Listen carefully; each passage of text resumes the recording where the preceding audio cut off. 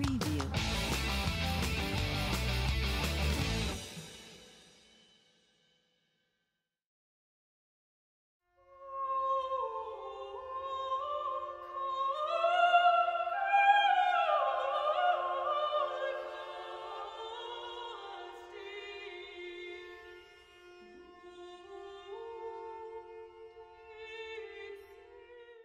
Le 25 mai, Hildegarde de Bingen déambule dans le cœur de la cathédrale Saint-Vincent de Chalon-sur-Saône devant des spectateurs ébahis. Cette religieuse bénédictine, mystique et visionnaire, a vécu au XIIe siècle en Allemagne. De son approche de la vie et de ses connaissances notamment sur les propriétés médicales des plantes, le pape Benoît XVI, à la suite de sa canonisation, la proclame en 2012 comme docteur de l'Église. Créée en 2014 par Claudine Gérèse, elle-même interprète les moments forts de la vie de cette femme en spectacle. Hildegarde de Bingen messagère de l'invisible. La pièce de théâtre en monologue permet de comprendre par les chants, la musique et la danse la vie d'Hildegarde, remarquable, avant-gardiste. J'écris ce spectacle euh, qui raconte sa vie une partie de sa vie entre ses 38 et 49 ans, qu'il y, a cinq tableaux dans ce spectacle qui vont raconter tout ce cheminement les cinq tableaux, c'est les, cinq moments clés entre ces 38 et 49 ans qui permettent de comprendre historiquement et aussi de comprendre son cheminement intérieur entre, dans toute cette période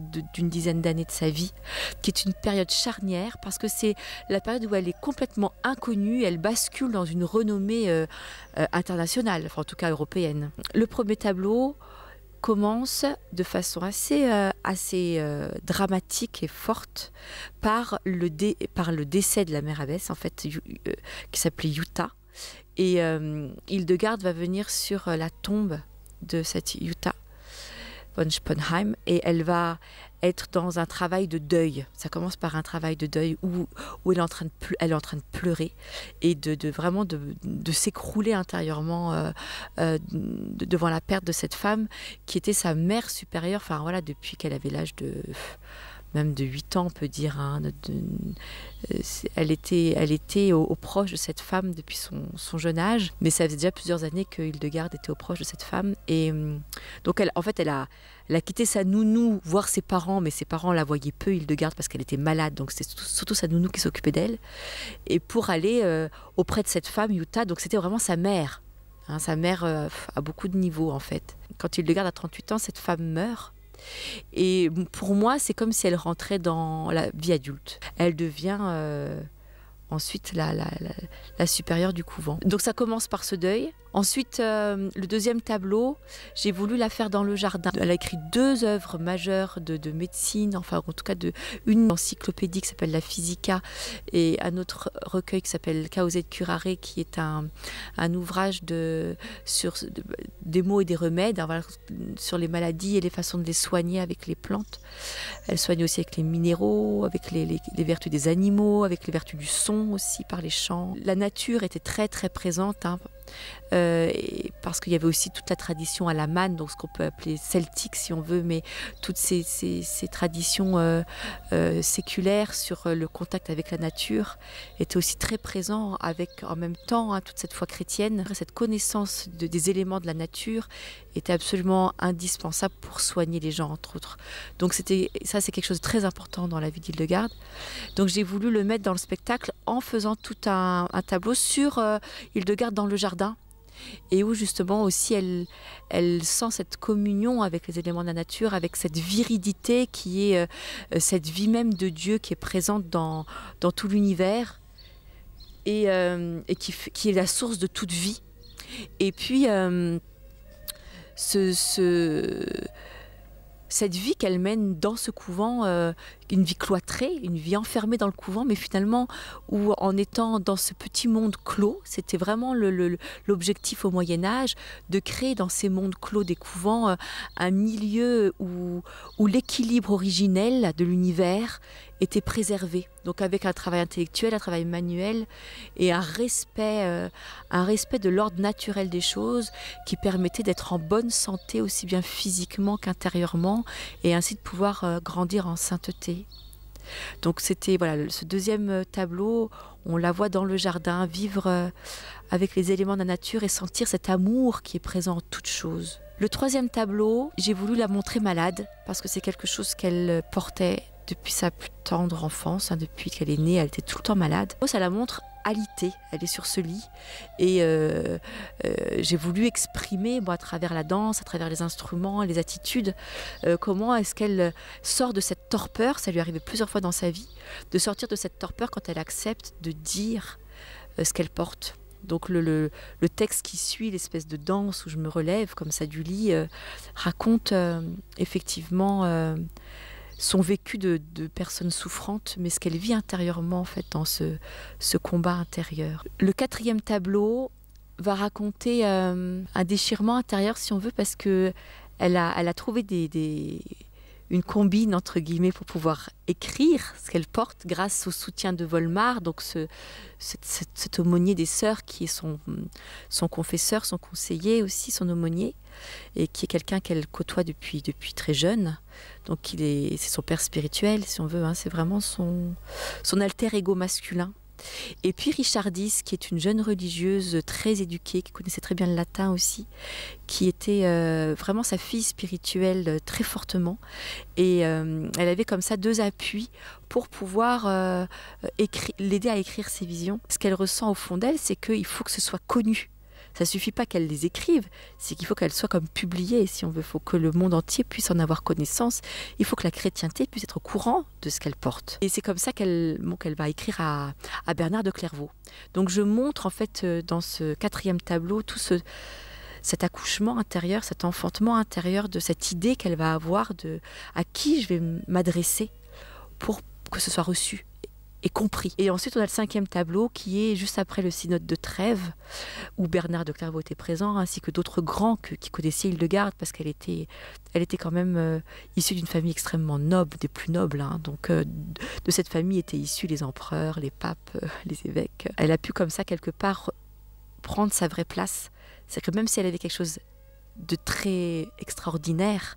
Elle n'était pas folle, elle n'était pas malade, ça venait de Dieu, donc ça, ça lui permettait aussi de d'avoir sa pleine place aussi bien dans, dans, la société que, que par rapport à ce qu'elle portait et dans la vie, euh, dans la vie euh, bah, spirituelle de son temps. Le pape va effectivement reconnaître la véracité de ses écrits au moment du synode de Trèves. Ça se termine comme ça sur cette joie d'Hildegarde avec la projection des, des visions.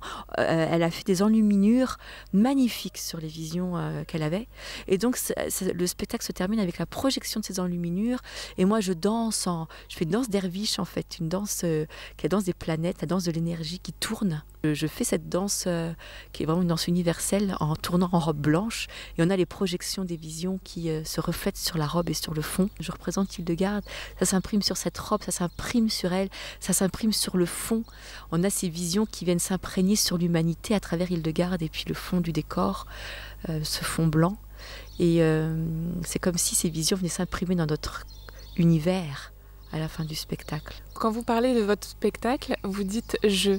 Donc euh, expliquez-moi, est-ce que vous vous sentez Hildegarde ou pas? Oui, parce que c'est à la fois Hildegarde et moi qui, qui, enfin, c'est moi qui joue le spectacle. Donc, effectivement, il y a une espèce de, de une sorte de, de confusion, de mélange qui peut se faire entre elle et moi. Euh, et qui n'est pas seulement dans, dans le fait que parce que je, je, la, je, la, je la joue, mais je la joue pas en fait, je l'incarne, je dirais plus exactement. C'est pas uniquement parce que euh, vous l'incarnez artistiquement, c'est plus que ça. Oui, c'est ça. Je l'incarne pas que artistiquement.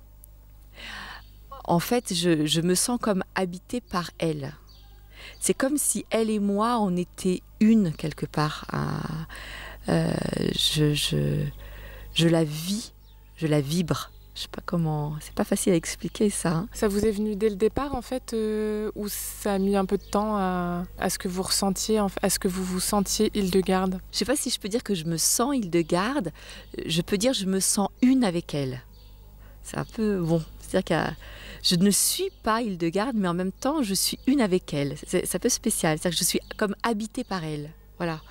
Et, mais, et effectivement, euh, j'ai sorti ça très vite tout de suite. Dès, la première représentation, il y avait ça. C'est quelque, chose d'assez magique, hein, de, très très fort. Ça, ça, fait. Il y a quelque chose qui se dégage du coup de ma présence, qui est pas que ma présence, mais qui ma présence est la sienne. Enfin, on ressent sa présence à elle à travers moi, en fait. Et c'est vrai que tout le monde me le dit souvent après les spectacles. Et donc ça, je l'ai senti tout de suite. Mais j'ai envie de dire, c'est presque de plus en plus profond, de plus en plus fort. Parce que bon, ça fait cinq ans que je le donne, ce spectacle. Et avec le temps qui passe, c'est comme si la, l'intensité de notre lien était de plus en plus profond, comme finalement comme dans n'importe quelle relation euh, aimante, d'amitié ou amoureuse ou autre. la relation, elle se creuse avec le temps et avec elle, c'est pareil. Et donc, elle, elle est de plus en plus, euh, je l'ai de plus en plus chevillée au corps, je dirais. Claudine, comment vous ressentez euh, cette présence d'Île-de-Garde en vous? Et comment ça se matérialise? C'est une bonne question. euh, c'est comme, c'est comme la présence de quelqu'un qu'on aime euh, par exemple, on a reçu une lettre et on, vient de dire, pendant qu'on lit la lettre, on peut ressentir la présence de la personne et on ressent quelque chose dans son cœur. Voilà, c'est, et je dirais c'est quelque chose de cet ordre-là. C'est-à-dire que euh, c'est comme si je suis en amour avec elle. Je, je, je ressens ses émotions. En tout cas, quand, quand, au début, par exemple, quand je suis sur la tombe de Utah, je peux sentir sa, peine. C'est moi qui ai de la peine, mais c'est une peine qui est connectée à la sienne. Donc je, me sens en, vraiment en connexion, en, osmose avec ce qu'elle a pu vivre. C'est comme quand, par exemple, il y a quelqu'un qu'on aime beaucoup, son enfant, ou quelqu'un qu'on aime beaucoup qui s'est fait mal ou qui souffre de quelque chose. Ben, on va compatir, quoi. On a mal aussi. Quand on a quelqu'un qui aime, qu'on aime qui a mal, on a mal avec lui. Ou quelqu'un qui est dans la joie, on partage sa joie. Donc, euh, je partage ses émotions, mais je les, je les, vis en même temps. Comme si c'était votre mère, puisqu'à un moment donné, dans votre conférence, vous dites que vous vous sentez euh, comme, comme sa fille. Donc, est-ce qu'on peut dire que c'est comme votre mère? On peut dire ça. Mais c'est pas que comme ma mère. Elle est, elle est à la fois ma mère et à la fois aussi une sœur et une amie. Il y a plusieurs. Euh, c'est souvent comme ça dans les relations. Euh, on, parfois, on se sent comme, même parfois de son conjoint, on peut se sentir comme son, voilà, euh, quelque chose de paternel ou de maternel avec l'autre, ou, quelque chose de plus amical ou bien de plus fraternel. L'amour a plein de, visages, et avec avec elle, j'ai effectivement toutes ces dimensions. elle est ma mère, ça c'est sûr aussi, parce qu'elle a vraiment une fonction d'éducatrice et, elle donne quelque chose de la vie elle, elle, elle, insuffle quelque chose de la vie de la vie divine, ça c'est sûr. Et mais en même temps, ça peut être une complice, ça peut être une sœur, ça peut être. Euh, on a une, relation euh, très, euh, oui, très complice, très complice. Par rapport au public, aux spectateurs, qu'est-ce que, quels sont les retours en fait par rapport à votre spectacle, par rapport au fait que vous incarnez Hildegarde? C'est vrai que souvent, euh, j'ai des personnes après qui me disent, mais en fait, garde c'est vous Voilà. Donc euh, ils, disent, mais c'est pas possible, vous nous la donnez tellement à voir, à toucher, et euh, qu'on a l'impression qu'elle est là. Surtout quand je donne ce spectacle dans une abbaye en itinérance. Donc on voit, peut dire, on voit Hildegarde qui se promène dans l'abbaye, qui vit dans son, dans son lieu de vie.